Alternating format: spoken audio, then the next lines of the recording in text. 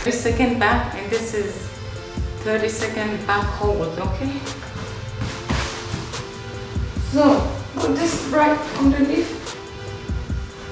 your lower back. Put this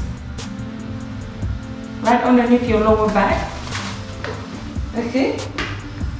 Bring your feet together. Feet up. Lay down on the way. Stretch. 30 second hold. Stretch. Stretch your whole body and hold. Okay? Stretch your whole upper body and hold. You're going to feel it. Just your upper body, stretch it, feet together, bring it up. The more you bring your feet in, the greater the uh, pressure.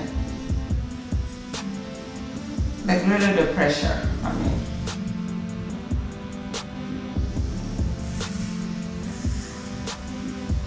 you can do it for 30 seconds, but one minute, even greater, okay? So 30 seconds is up.